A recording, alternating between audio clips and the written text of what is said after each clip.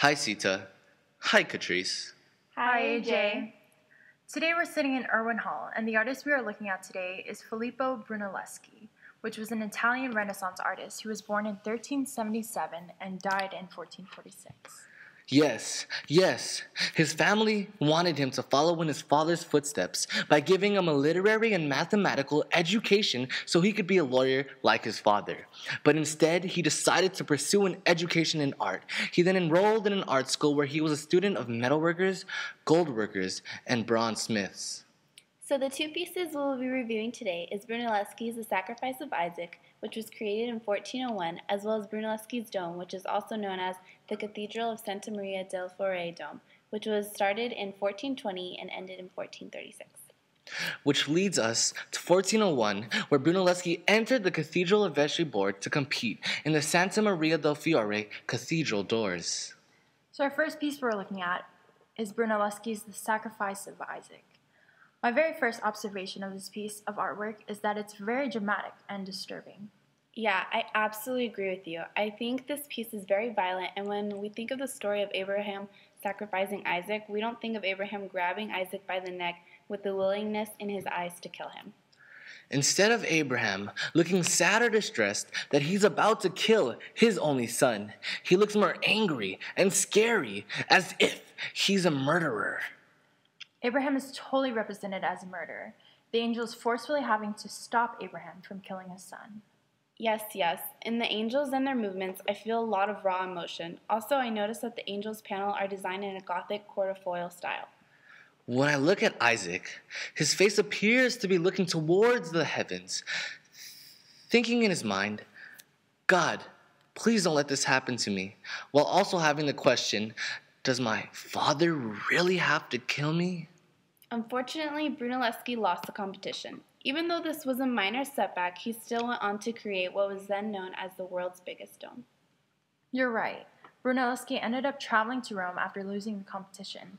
There he examined the remains of the great city and found inspiration to continue on with his career in art. I absolutely agree with Brunelleschi's decision to pursue his career in art.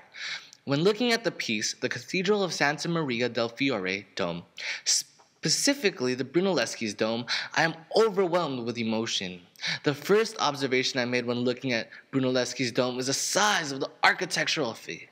It's absolutely spectacular.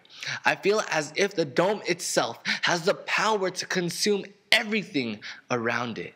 Oh, yeah, I agree. It triumphs over the whole city, with the height being 376 feet and the width being 147 feet. Yeah, it's in a really impressive height. The, the Italian painter Vasari states, It's as though the sky is envious, as it keeps on shooting thunderbolts down at it, believing that its height has almost exceeded the height of air. Yeah, we get a sense of how big the dome truly is. When further observing this fine piece of architecture, I noticed the in depth bricking design. The way the tiles were laid out was called the herringbone pattern. We see here how the bricks go up and then down, up and then down. Each time a new brick is added to the dome, each individual brick locks into place. Very true. Ross King, the author of Brunelleschi's Dome, states this expression no doubt alludes to the technique of bricklaying at Santa Maria del Fiore, the process of waiting for the mortar of one course as of masonry to dry before laying another. Exactly. When looking at the dome, I think to myself, how did it not collapse? When constructing the dome, Brunelleschi wanted to make the dome as light as possible. The inside of the dome was hollow, helping it stay intact. Also, another reason why the dome did not collapse is because the force that was being applied to the base of the dome traveled down and outward. Oh, yeah, that was brilliant for Brunelleschi to construct. Overall, Brunelleschi's dome was a magnificent piece of architectural artwork.